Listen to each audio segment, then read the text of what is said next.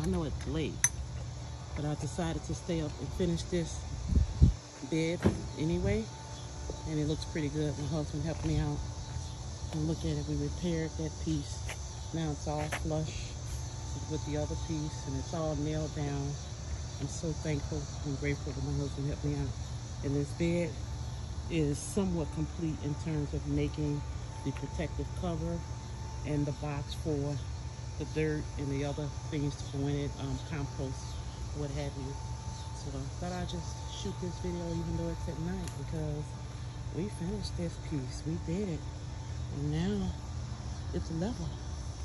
One other thing I forgot to mention earlier when I was doing the video and I said that I had three areas, like this one area, this middle area, and then I mentioned that I had this area here.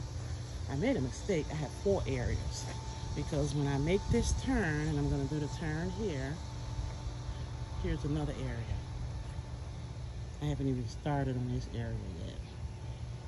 And I mentioned these areas are by 25 feet, and I think they're by 22 feet.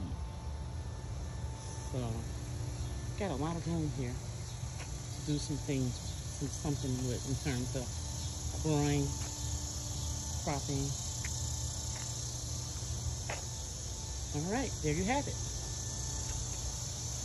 Complete. Nice and sturdy.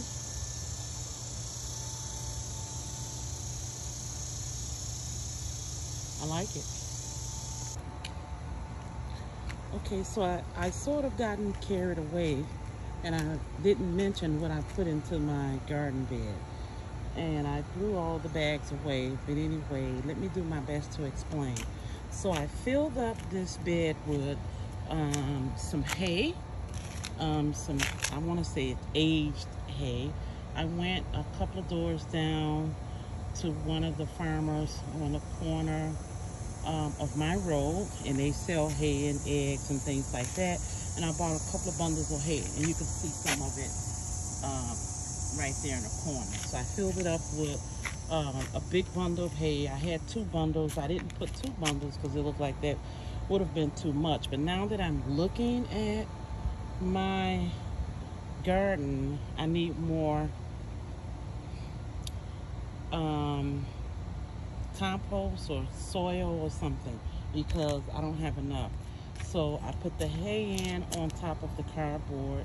Then I put some um, some type of topsoil. I tried to buy the organic stuff.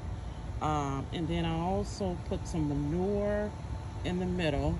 And then on top of the manure, I did like a compost type of um, um, mixture, a, a, few big bags. It was just the Miracle-Gro though. I don't know if that was all natural or not, but it seemed like it said it was. Maybe it not, but I bought three big bags of it and um, and I put that on top. So I'm gonna go back to the store and I'm gonna get a few more bags and try to fill this up. And then I'm just gonna try it out and drop some seeds in this baby and see what happens. Um, the things that I would like to put down um, will be the things that grow in my zone, which I'm in zone 5B. And so I can only do a few things right now before the frost hits. So I think I'm gonna try to go with some kale, some collard greens, and maybe some turnip bottoms, I think they're called. And I'm gonna see if it lets me do some carrots. So that, those are some seeds that I have, and those, I think, some of my organic seeds. I gotta go check. And um, so yeah, just wanted to give you an update how it's looking. I did fill the bed. I did put some stuff in it. Before, when I showed a picture or a video, it was just blank. And now I have stuff in it. So um, I'll keep posting my progress. And we'll see how this turns out.